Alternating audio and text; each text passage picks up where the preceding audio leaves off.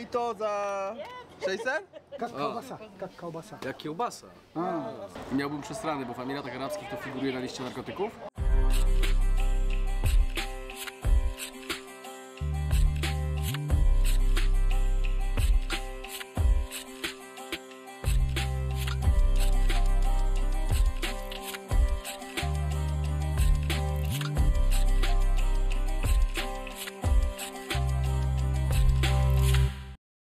Pierwsze chwile w stolicy nowego kraju staram się zawsze rezerwować na miejski bazar. To właśnie przez pryzmat stołecznego targowiska definiuję moje sympatie do dużych miast, choć muszę przyznać, że Biszkek wywarł na mnie już od samego początku takie pozytywne wrażenie. No niemniej i tak dość szybko pomknąłem na największym w mieście Osh Bazar. Założony na początku lat 80.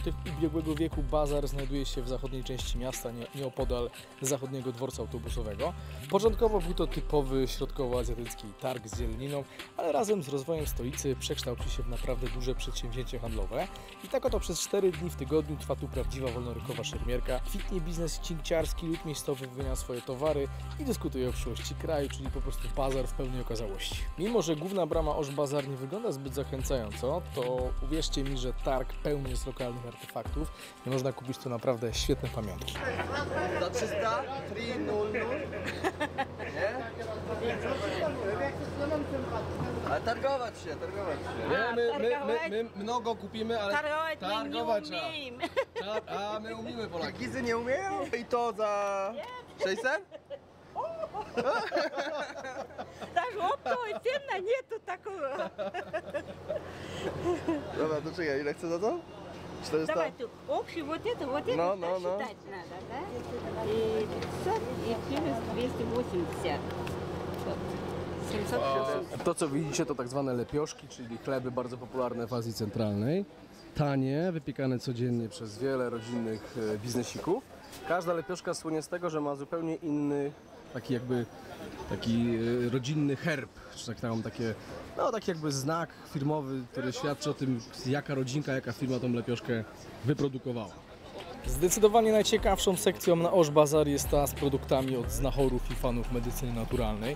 Znajdziesz tu wyjątkowo pokręcone produkty ze zwierząt i roślin, które miejscowi kupują w celu leczenia różnych e, przypadłości. I tak oto w ofercie korpulentnych babuszek znajdziesz m.in. suszone węże lub wciąż żywe, zamknięte w budki po wodzie mineralnej, jaja żółwia, suszone żaby, sisik kul, grzyby, mchy, szpony orła czy wilcze kły. такая, To такая. pokuszyć. Да, покушать это можно. лечебный, да, да, да, да. Это лечебный. Takie rzeczy na Много bazarze Osh болезней w лечит, Biszkeku. много, много болезней лечит. Żabki z jeziora Isikul А suszone, та jako зеленая, przysmak, jako зеленая, przysmak. некрасивая, A to też z Isikula? Żmije czy to nie? это, Czy to... это горные. A to popularne. To popularne w Не, Kyrgyzstanie. не, Nie? не, Nie? А что вы тут, как вы то покушаете? Как вы тут кушаете? До зубы у нее, смотри, вот голова и хвост да, да. одинаково, да? Да. Вот, не тоненький, вот, видишь? А. Как а. колбаса, как колбаса. Как колбаса? А, как колбаса. Okay. Ты будешь, больных будет лечить, да. рак у кого, онкология. Але 5, 5 тысяч, то, то, то, то, Онкология, рак. Але я самолот, то самолот проблемы, да? nie? Nie, Ja nie będzie problemu? w bagażnie problem. A w Abu Dhabi będzie. My z Jewodnia do Abu Dhabi, no to, to, to, to do więzienia bym poszedł od razu. Gułak. А вот это вот, Ну тогда черепаха лучше яичко. сухую надо покупать. Za to lagier w Abu Dhabi. Lagier. Запара. Зажгли Это его. черепашьи яйца, да? Вон, Да, да.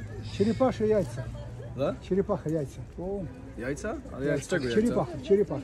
Czyli pachy. Z żmii też? Не, не, не. Нет, нет, че- черепаха. Вот, черепаха. Черепаха. Тазует все. А, а, а, такие. Такой медленно ходит. Медленно. Борсук? Нет, Нет, черепаха вот. Черепаха. Не, не, не, не знаю черепаха. Такой панцирь есть. Панцирь. А, панцирь. А, панцирь. А, добро, добро. И голову высовывает, потом убирает сразу. Да, да, да. да. И медленно ходит, лапами. Жув? Жув.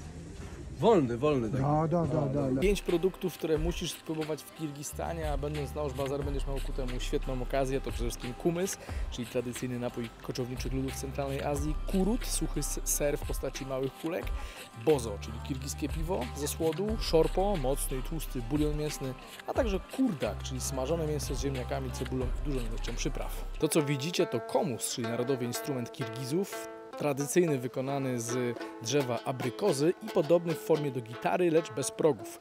Nazywany jest kirgiską lutnią, trzystrunowy instrument, który jest symbolem kultury muzycznej Kirgistanu i często wykorzystywany jest w opowieściach epickich czy pieśniach ludowych. Na Osh Bazaar możecie dostać tą wersję oryginalną, która kosztuje tutaj około 120-150 dolarów, ale są również te podróbki, tak naprawdę takie proste dla turystów wykona wykonane z jakiejś sklejki za 15-25 dolarów.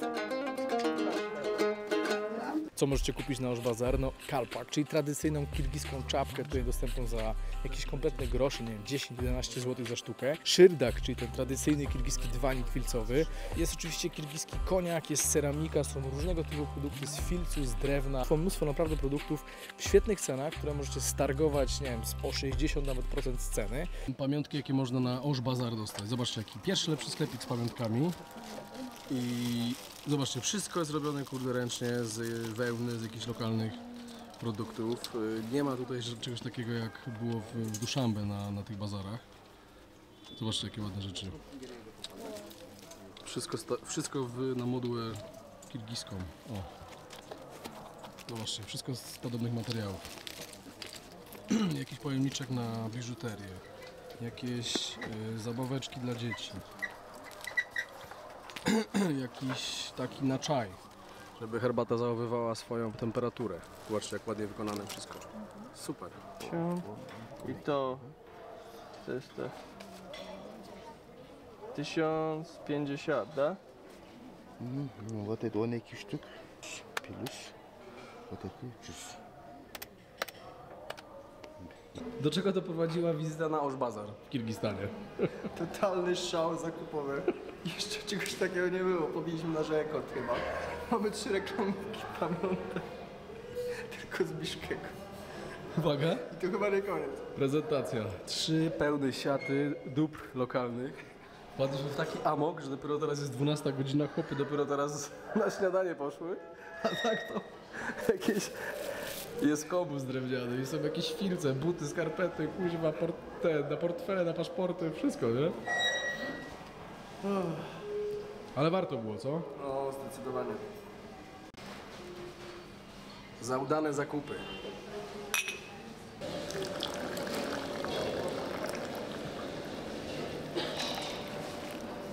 Будет готово. Хорошо? Pierwsze.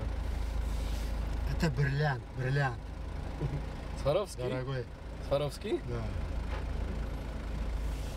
Нормально, да? Da, da, da. Вот эта дорога по-киргизски Джол. Kurwa, znów to robimy. Drugi raz na Osh Bazaar. To pierwsza wizyta skończyła się tragicznie dla naszych finansów. Rozdupcyliśmy chyba z, z 7 dniówek. I wróciliśmy tutaj po parę takich drobiazgów, między innymi po plecaczek na bagaż podręczny, ale to się może skończyć dla nas tragicznie, jak ostatnio. Idziemy jeszcze raz. Pięć.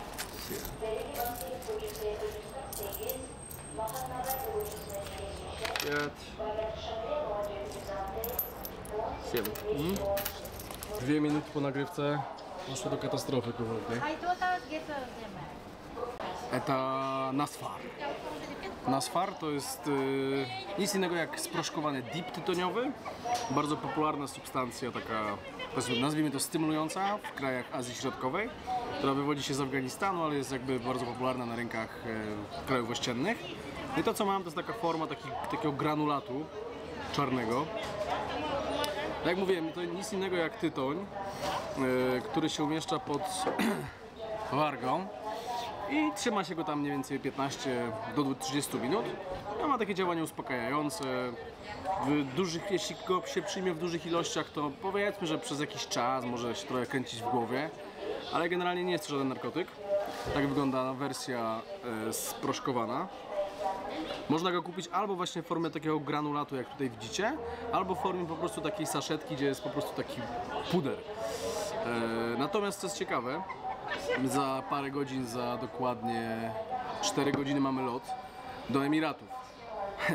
Dlatego kręcę ten film, ponieważ gdybym zapomniał ze- sobą, gdybym wziął ze sobą ten, ten produkt, Nasfar, do Emiratów Arabskich, to prawdopodobnie już bym tutaj prędko do Azji Środkowej nie wrócił. bo bym został skuty od razu na lotnisku. Miałbym przesrany, bo w Emiratach Arabskich to figuruje na liście narkotyków. Tak samo w Kazachstanie od 2011 roku ten produkt znajduje się na liście substancji narkotycznych.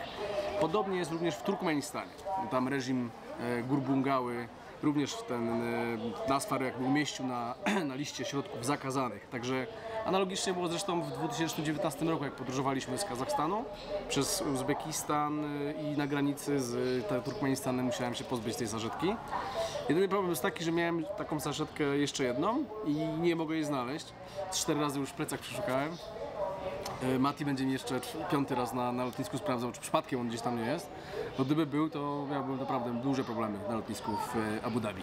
Dzięki jeszcze raz, to wszystko w tym odcinku. Był to ostatni odcinek z serii o Sowiet Stanach. Ostatni z Kirgistanu, no i ostatni z całej serii. Jeśli interesuje Was Azja Środkowa i moje przygody z Uzbekistanu, Tadżykistanu czy Kirgistanu, to zapraszam Was serdecznie już z tego miejsca do odświeżenia mojej historii filmów na tym kanale. Jest ich sporo, łącznie chyba 8 albo 9 odcinków. Także jeszcze raz wielkie dzięki, to była niesamowita możliwość podzielenia się z Wami moimi przygodami właśnie z interioru azjatyckiego.